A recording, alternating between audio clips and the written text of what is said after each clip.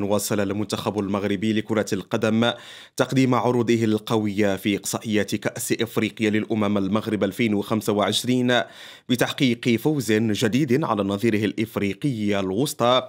برباعية نظيفة في المباراة التي جمعتهما أمس على أرضية الملعب الشرفي بوجدة لحساب الجولة الرابعة للمجموعة الثانية من هذه الإقصائيات. وسجل أهداف النخبة الوطنية كل من إلياس بن صغير